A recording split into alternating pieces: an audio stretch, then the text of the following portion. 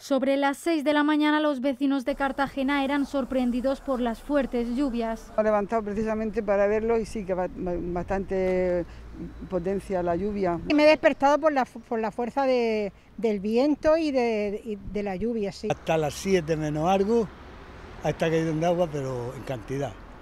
En tan solo media hora han caído 50 litros por metro cuadrado, lo que ha llevado a que se tema incluso por el desbordamiento de la rambla de Benipila, inundaciones, caídas de árboles y desprendimientos. Es el caso de este supermercado que no ha podido abrir hoy sus puertas debido a la caída del muro del recinto y las inundaciones.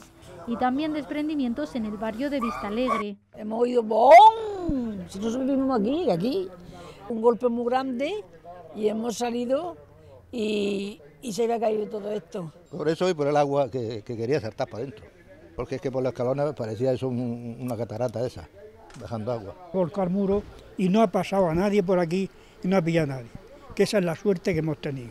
La caída del muro de la plaza ha despertado a los vecinos, pero la sorpresa era que había alcanzado a varios vehículos. Yo me despertaba para irme a trabajar y de repente he oído el golpe y hemos salido corriendo. Aquí hemos visto que los árboles se movían demasiado y ha venido un vecino y a quitar bloques de hormigón y a poner los coches a salvo.